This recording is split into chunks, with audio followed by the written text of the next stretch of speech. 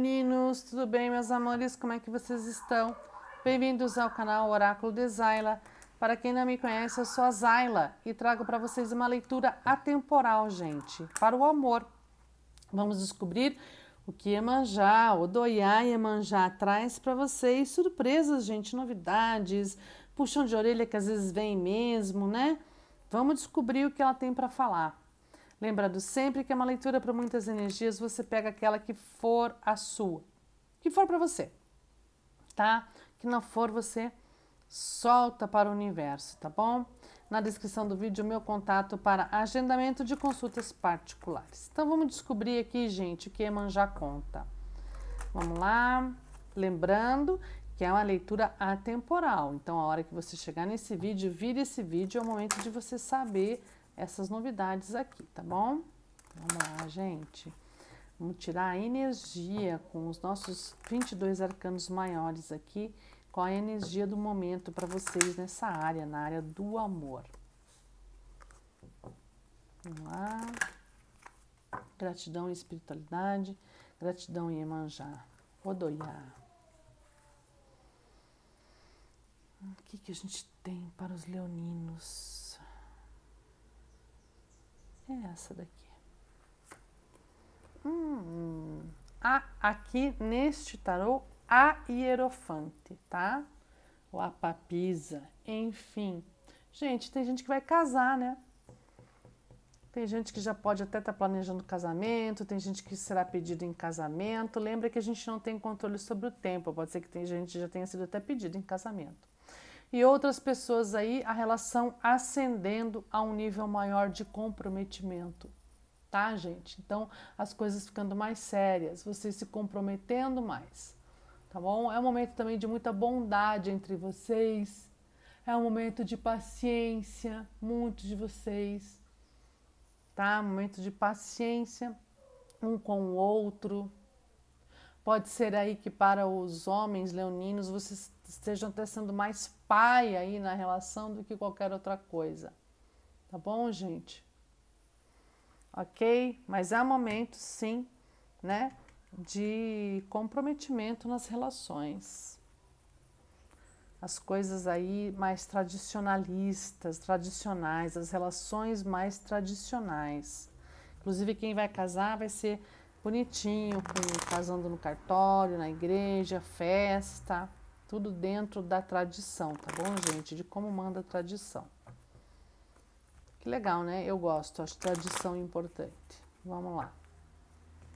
O que mais nós temos aqui? Povo cigano para os leoninos. O que a gente conta? Gratidão, tá? As nuvens, a chave, o sol, a criança, os livros, a cobra, a raposa,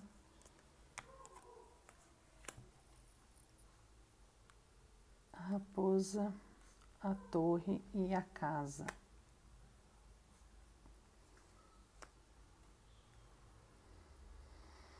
Hum. Bom, que, que fala aqui? Alguém imaturo aí, uma pessoa imatura, meio infantil, sabe? Aquela pessoa meio infantil, com atitudes um pouco infantis. Essa pessoa observando vocês à distância aí. Ou na rede social, ou de repente né, mora aí na mesma rua, é, ou na, trabalha na mesma empresa. Pode estar observando vocês à distância. É uma pessoa, gente, astuta, que chega devagar, é uma pessoa que planeja as coisas antes de chegar, tá? Então, muita atenção, essa pessoa não é, a energia não é boa. Ela pode estar pensando aí de que forma consegue tirar alguma vantagem de vocês aí, tá? Então, muita atenção. Essa pessoa pode, inclusive, dar um susto em vocês, desequilibrar vocês aí o pensamento de vocês. Ela pode deixar vocês instáveis, confundir vocês de alguma forma. Então, muita atenção, tá? Para essa pessoa que chega muito sorrateiramente. Com aquele papo assim, ai, mas eu te observo há tanto tempo, a distância, eu tenho observado o teu jeito. Gente, tá? Presta atenção. Não é bem assim, ok? Bom, aqui fala que vocês aí, uh, num momento mais introspectivo, vocês estão pensando, alguns de vocês aí pedindo para a espiritualidade, tá? É, que mostre para vocês uma questão aí, é, ajudem vocês a resolver um problema, tá? Vocês querem resolver um problema na relação, vocês estão pedindo uma ajuda para a espiritualidade, vocês andam mais quietos, tá? Vocês andam mais introspectivos. Esse problema aí, de repente, vocês nem revelaram esse problema aí para o seu parceiro, para sua parceira. Tá? É alguma coisa aí que vocês precisam resolver. E vocês andam pedindo para a espiritualidade ajuda. Tá? Ajuda para que a, a espiritualidade ajude vocês a resolver. Ok? Gente, vai acontecer aí para quem mora junto, para quem está casado, enfim, mora na mesma casa, tá? Enfim, acontece aí um problema, acontece um. Talvez uma, uma, uma situação de falsidade, é, talvez uma situação é, de mentira, de, de enganar, de traição de alguma forma, tá? Vai acontecer uma situação desagradável aí. Vai passar, tá? Vai passar.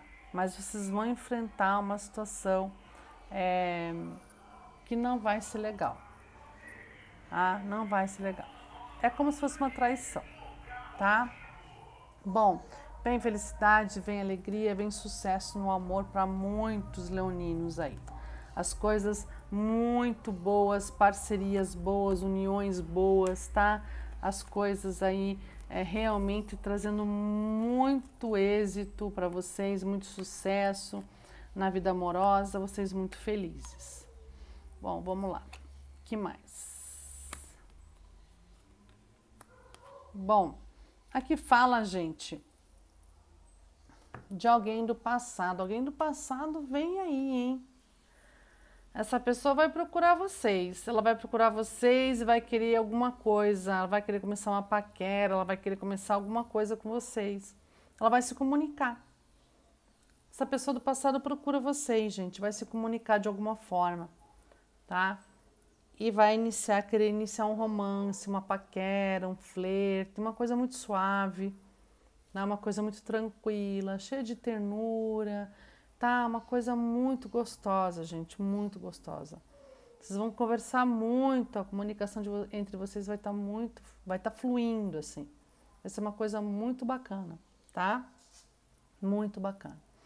Gente, uma mudança, uma mudança aí que vai mexer com os sentimentos de vocês. Vai mexer com os sentimentos de vocês e essa, e essa, e esse, e essa, e essa mexida nos sentimentos de vocês, tá? É, causa um problema para vocês.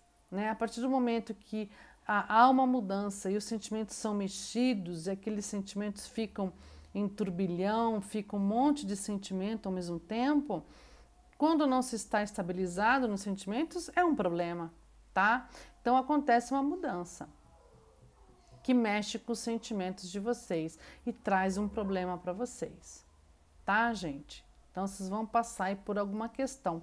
Para alguns leoninos pode ser uma mudança de cidade. Talvez vocês ou seu parceiro, sua parceira tenham que mudar de cidade por causa de trabalho, tá? Ou façam uma viagem, né? E nessa viagem aí vocês é, descubram alguns sentimentos aí que vocês nem sabiam que existiam, né?